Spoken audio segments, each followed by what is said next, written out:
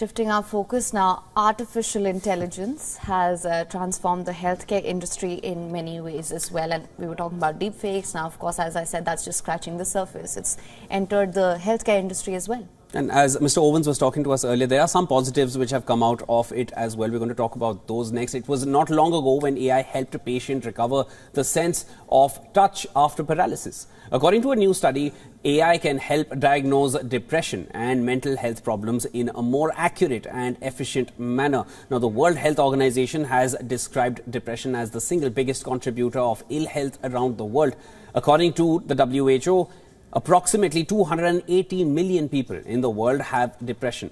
This is where artificial intelligence can come in handy. Now, as part of a medical experiment, scientists compared ChatGPT depression diagnosis to that of real life doctors when given information on fictional patients of varied depression severity. ChatGPT mostly recommended talk therapy, this is in contrast to antidepressants that are often recommended by doctors. It was found that ChatGPT is less likely to have gender and socio-economic biases.